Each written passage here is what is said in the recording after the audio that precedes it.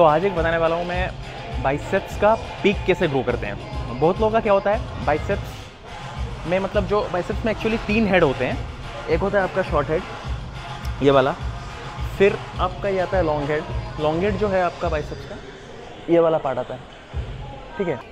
ये वाला पार्ट जो होता है ना, वो लॉन्ग हेड होता है।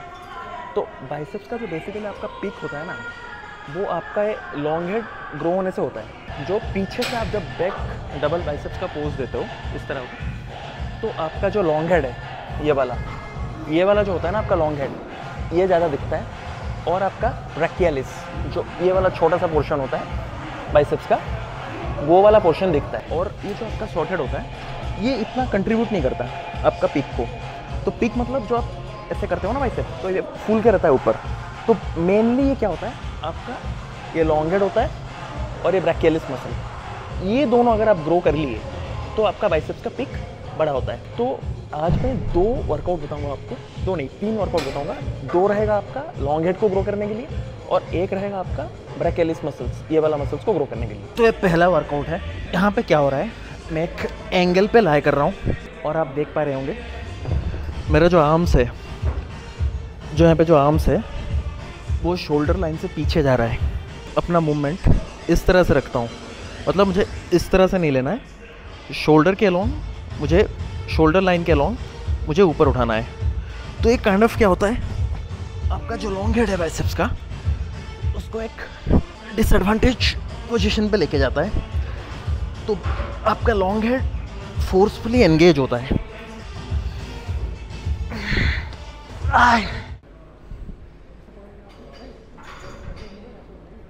अब ये सेकेंड वर्कआउट है। ये वर्कआउट आपका जो ब्रैकियालिस मसल होता है, ये वाला मसल जो साइड से आपके बाइसेप्स को चौड़ा दिखाता है। आप जब साइड से देखते हो ना बाइसेप्स कि आपका चौड़ा दिख रहा है टी शर्ट फट जाता है आपका बाइसेप्स से। तो ये वाला पार्ट जो होता है ना, बहुत लोग इसको इग्नोर करते हैं। उनको पता है कि ये बनाना है ये वाला पीक बनाना है, ये वाला बनाना है। बट ये पार्ट जो बीच में एक इंसर्शन होता है बाइसेप्स का, वो आपका पीक को बाहर की तरफ़ धकेलता है। मतलब स्ट्रेच करवाता है तो ब्रैकेलिस मसल बेसिकली आपका बाइसेप को चौड़ा दिखाता है। तो बहुत बेसिक एक्सरसाइज है हैमर कर्ल उसका एक वेरिएशन हम लोग करेंगे। दस के जी से कर लूँ ईगो हट हो रहा है मेरा।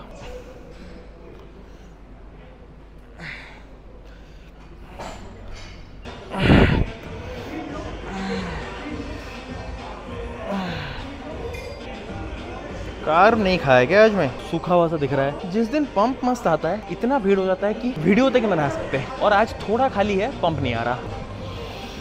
क्या यार? और ऊपर से गाना बजा रहा जिस दिन वीडियो नहीं बना रहा होगा ना, कोई गाना गाना नहीं चलेगा। और जिस दिन वीडियो बनाओ, सारा गाना उस दिन चलाएँगे। पूरा कॉपीराइट क्लेम वहीं पे आ जाएगा। पर्टिकुलर एक दो डम कभी नहीं मिलेगा जिम में। साढ़े सात के की तो डिमांड कहाँ पे मुझे नहीं पता। एक मिलेगा तो दूसरा नहीं होगा। दूसरा तो उस कोने में जाके होगा। नीचे बताना, आपके साथ ऐसा होता है कि नहीं होता है? तो मैं आपको एक्सप्लेन कर देता हूँ अच्छे से। तब से एक्सप्लेन ही नहीं कर रहा हूँ। ये बेसिक हैमर का ही। है आपको ग्रैप करना है डम्बल्स जितना टाइटली ग्राफ कर पाओगे ना, उतना आपका फोर आर्म्स एंगेज होगा। अब टाइटली ग्राफ करने के बाद ये डम्बल्स को आपको न्यूट्रली जैसे कि न्यूट्रली मतलब पता नहीं यार, अब देखो यार वीडियो में, आपको ऐसे ऊपर लेके जाना है। इतना।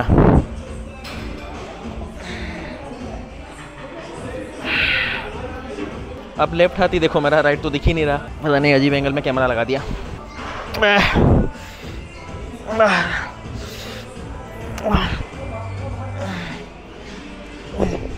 तो ये क्या करता है? आप जब हाथ ऊपर लेके जा रहे हो ना, आपका जो ये ब्रैकियालिस मसल होता है, ब्रैकियालिस, हो गया, ये वाला मसल एक्सटेंड और कंट्रैक्ट होता है, ये वाला मसल। अब देखो आप, ये देखो स्लो मोशन में रिट्रैक्ट कंट्रैक्ट हो रहा है कि नहीं हो रहा है? तो ये वाला मसल अगर ग्रो होगा तो पिक को वो आगे एक्सटेंड करता है। इसका और एक वेरिएशन है। ये वाला। इसमें वैसे ही पकड़ना है और आपको क्रॉस करना है इसे। अब पहले आगे ले रहे थे इसे। अब वही चीज़ आप क्रॉस करोगे। कभी कभार मुझे इसमें अच्छा कंट्रैक्शन फील होता है, कभी उस टाइप की वेरिएशन में अच्छा कंट्रैक्शन फील होता है। अभी लास्ट वेरिएशन है, ये पीक का लास्ट वर्कआउट है। इसको आप केबल में भी कर सकते हो बार में भी कर सकते हो। केबल बिज़ी है अभी, मैं बार में करके दिखाता हूँ। दोनों ही फेवरेट है मेरे। कभी कभार केबल से कर लेता हूँ कभी कभार बार से कर लेता हूँ। ये आपको एक फ्लैट बार चाहिए। कर में भी कर सकते हो ईजी बार में। आपको यहाँ पे बहुत ज़्यादा वेट नहीं लेना है। बीस के ले रहा हूँ ट्वेंटी के का है। ऐसा अगर बार नहीं है, कोई बात नहीं नॉर्मल बार में प्लेट लगा देना। आपके हिसाब से वेट रख लेना। ये आपको क्लोज लेना है यहाँ पे।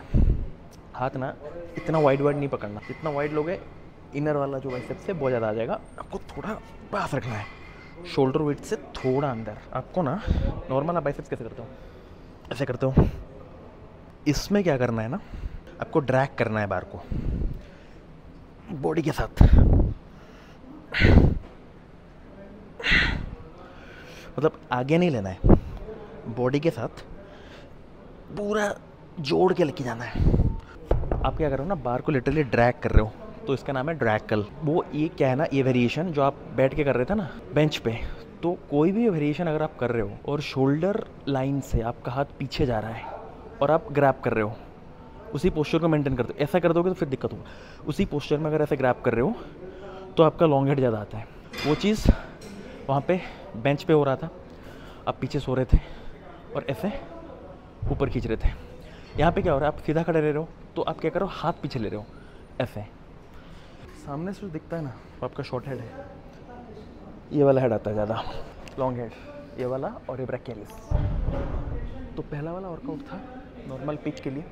सेकंड वाला था इनडायरेक्ट पिक मतलब ब्रैकेलिस को बड़ा करने के लिए ताकि पिक अच्छा है और अभी जो हम लोग ने किया ट्रैक कर वो डायरेक्ट पिक के लिए लॉन्ग हेड के लिए है बाइसेप्स का। तीनों एक्सरसाइज आपको करना है। एक दिन में कर सकते हो अलग अलग डे पे रख सकते हो। रिपीटेशन ज़्यादा ही रखना पंद्रह के आसपास बारह पंद्रह रिपीटेशन रखना। उस हिसाब से वेट ले लेना। और पाँच छः सेट रखना। तीन सेट में कुछ होता होता नहीं है। तीन सेट जो होता है वो पता नहीं किसके लिए होता है। पाँच छः सेट रखना पड़ेगा आपको एक एक वर्कआउट का।